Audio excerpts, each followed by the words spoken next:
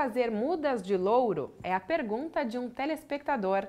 E se tem dúvida, a Emater responde.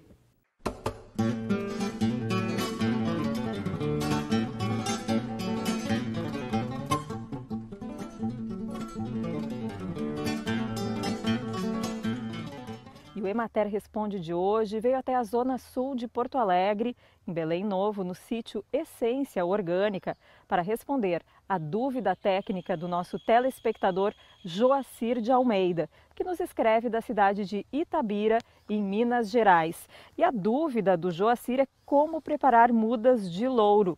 Ele conta que já tentou várias vezes, mas que não foi bem sucedido. Joacir, fica atento então, porque o técnico da Emater no escritório municipal de Porto Alegre, o extensionista Luiz Paulo Vieira Ramos, vai te mostrar o passo a passo de como fazer essa muda. É contigo, Luiz. É, senhor Joacir, para fazer muda de louro, é uma planta de difícil enraizamento. Ela tem que ser por estacas, podendo ser por semente, mas a chance de produzir sementes viáveis é quando tem as quando tem mais de uma planta que tem a flor masculina e feminina, que vai produzir uma sementinha preta, pode ser semeada, pode ser ter muda a partir da semente. Que tem um inconveniente, o crescimento é muito lento, por isso se usa fazer muda de louro a partir de estaca, que demanda um cuidado maior e tem um índice de pega muito pequeno. Mas existe uma técnica também que é a alporquia, que a gente leva o, o, material, leva o solo até a planta e só destaca essa estaca quando estiver no pleno enraizamento. Então se ganha tempo no desenvolvimento da planta. Nos, nas duas, produção por estaca de material lenhoso e por alporquia, se ganha tempo no crescimento da planta. Bem, o material que nós vamos usar é, é uma tesoura de poda, né? Para poder cortar as estacas. Nós vamos usar, neste caso, estilete, mas pode ser usado um canivete de poda. Né? Esfagno, né? no caso aqui é fibra de coco, que também pode ser, que é um material úmido que a gente vai levar, no, vai usar na, na alporquia. Cordão e um plástico. E, e um borrifador para borrifar a água, umedecer o, o substrato. No caso, não tendo esse, esse esfagno, pode, ou fibra de coco, pode utilizar é, um composto orgânico de boa qualidade. Pode ser terra também, veja, é, terra, solo natural. Eu vou mostrar agora como é que se faz a muda por estaquia, de ramo lenhoso. Então a gente vai escolher na planta né, uns ramos de boa qualidade de meio a, a 2 centímetros de diâmetro. Tá?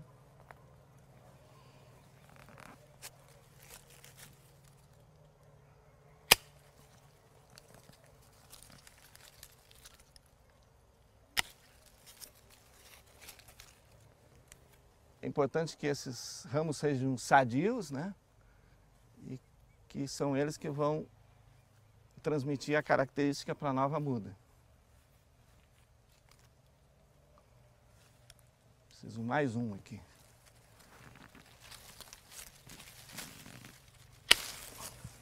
Mostrou na mão, mostrou na mão. Agora nós vamos preparar a estaca, limpando as folhas e deixando quatro folhas. Por que, que se deixa essas quatro folhas? Porque elas vão é, descer para o material lenhoso uh, aminoácidos e as auxinas, ou os hormônios vegetais, que são importantes no enraizamento. Esse é o formato da estaca, de 20 a 30 centímetros.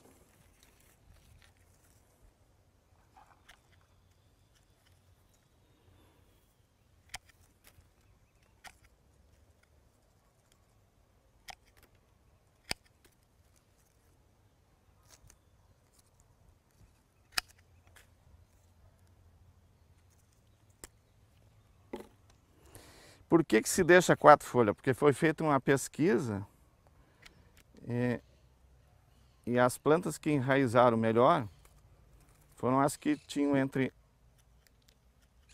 duas e quatro folhas. Acima disso, produz desidratação da planta e abaixo disso tem dificuldade. Essa aqui ficou só com duas.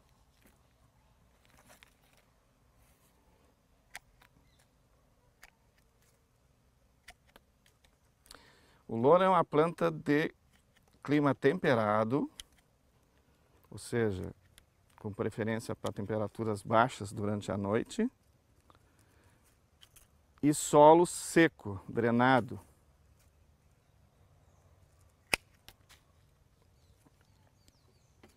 Mas para fazer a muda a gente tem que enterrar em solo é, poroso, fazer as estacas, e, e manter úmido até o enraizamento. Esse enraizamento pode levar mais de dois meses. Então, se faltar umidade, não vai ter muda. Como eu falei anteriormente, o, louro é uma planta de difícil enraizamento. Então, tem duas maneiras de, de promover esse enraizamento. Uma seria mergulhar ele numa solução de ácido indol butírico, né? Que se encontra nas, nas agropecuárias. O outro seria recorrer à natureza. É, quase todas as propriedades têm essa ciperácea, que é uma invasora, que existe, que se chama cebolinha ou junça. E aí você pega aí um, umas 200 gramas, um pouco mais, dessas batatinhas. A planta é essa, ó, é, conhecida como junça, tiririca, é, é uma ciperácea que eu disse invasora, que quase, todo, quase toda a horta tem ela. Macera essas batatinhas e deixa a estaca mergulhada durante 8 horas ou 4 horas, né? por um período de, entre 4 e 8 horas. E depois enterra. Isso aqui é um promotor natural do enraizamento.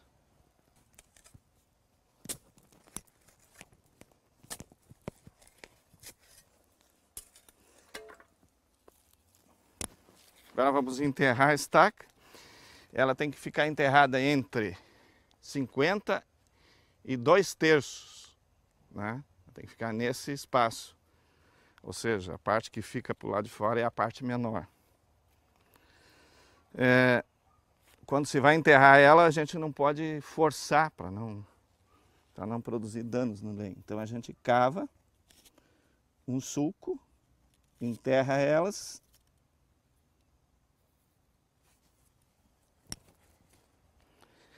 e a, faz com que a terra encoste no lenho. Ela precisa ficar, parece um contrassenso, mas ela precisa ficar bem próximo, bem compactada ali. E tem que se manter sempre solo bem úmido, né, num período do enraizamento que pode levar até dois meses. Espero sucesso lá na produção de mudas. E agora nós vamos demonstrar como é que se faz uma alporquia.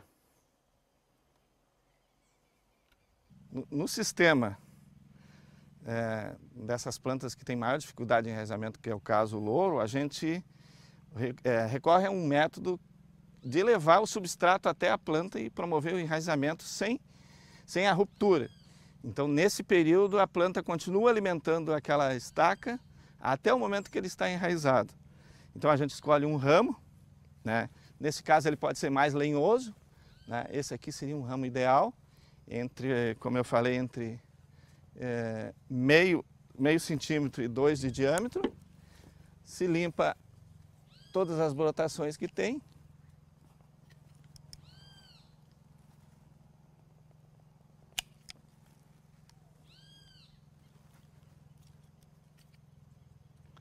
E depois você faz um anel. Você faz um anel na casca. Superficial na casca, toda a volta. A ferramenta ideal aqui no caso é um canivete de, de poda. Então se faz no período de primavera, seria o período ideal para fazer essa muda, quando essa casca sai facilmente.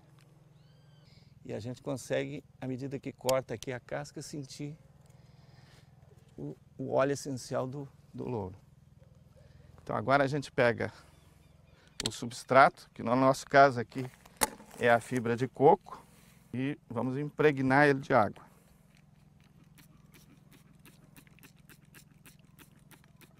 Se não tiver esse material que é mais fácil de lidar, pode ser com um composto orgânico de boa qualidade ou o próprio solo.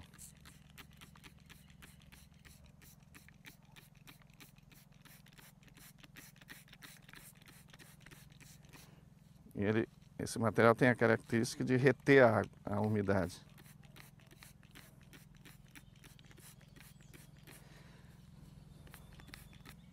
Ele tem que ficar encharcado, porém não escorrendo, né? Alguém já deve ter perguntado por que, que ele não enfiou dentro de um balde. Pode ficar encharcado. Tem que sair um pouquinho de água nos dedos aqui, ele está bem. Tá, eu vou pedir ajuda para a Bianca aqui. A gente dá umas leve, uns leves cortes para estimular o enraizamento. pedir ajuda para a Bianca, nossa estagiária aqui, para segurar aqui enquanto eu... Isso.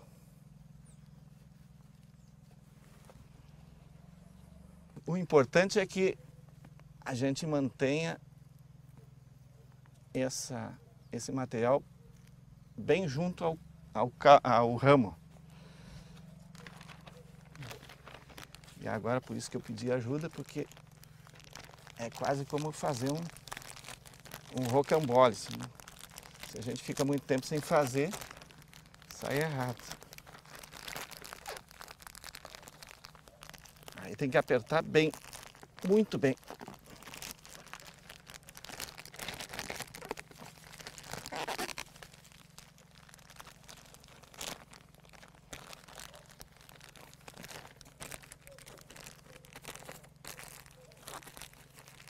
Aí a gente prende as extremidades, pode, pode ser com um cordão ou com uma fita. E essa fita tem que ter boa qualidade. Pode dar mais uma volta. Ela tem que ter boa qualidade, porque senão ah, ela acaba com a umidade se descolando.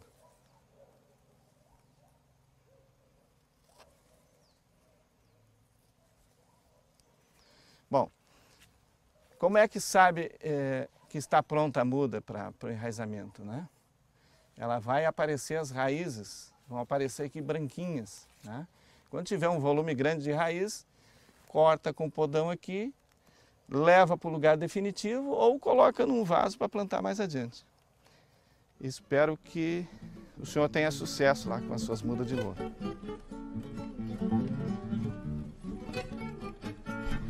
Veja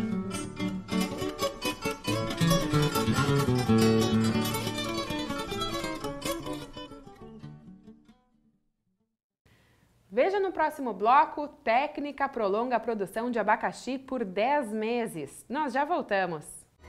Música